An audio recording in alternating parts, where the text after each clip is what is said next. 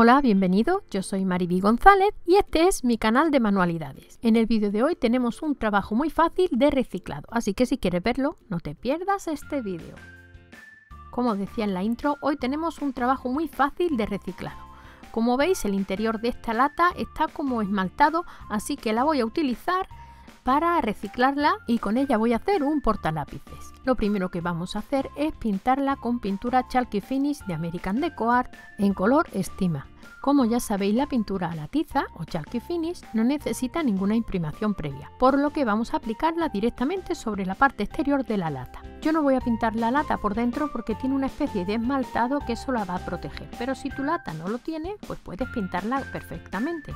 Para decorar la lata voy a utilizar esta lámina de papel japonés o papel soft que ya sabéis que compro en Dipinto Di Blue y os dejaré el enlace a su página en la cajita de información del vídeo, además de los enlaces a todos los productos que voy a utilizar en este trabajo.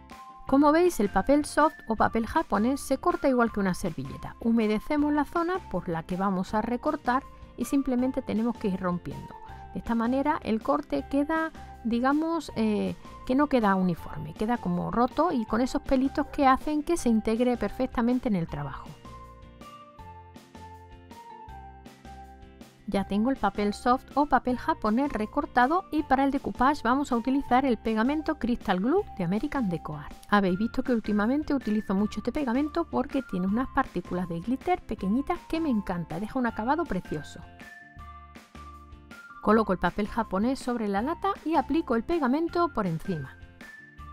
Normalmente suelo empezar desde el centro, pero como la lata tiene una hendidura en la parte central, voy a empezar desde arriba hacia abajo. Eso sí, desde el centro del dibujo hacia afuera, pinceladas desde el centro hacia afuera.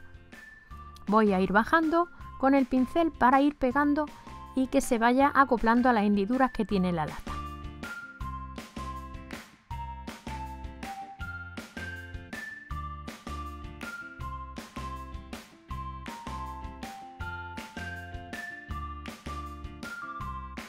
Y también voy a pegar esta botella de colonia antigua de la misma forma, empezando por arriba o por abajo, donde más os guste, pero en sentido eh, ascendente o descendente, no desde el centro hacia afuera.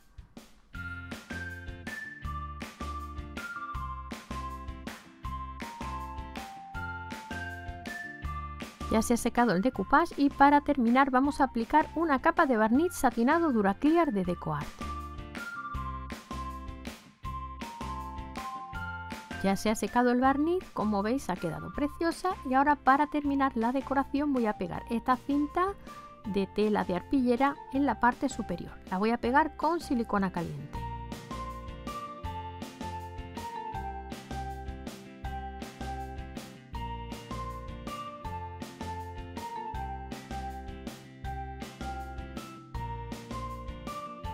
Para completar la decoración voy a pegar estas florecitas que son de, papel y tienen un tono así similar al de la pintura a la tiza que he utilizado.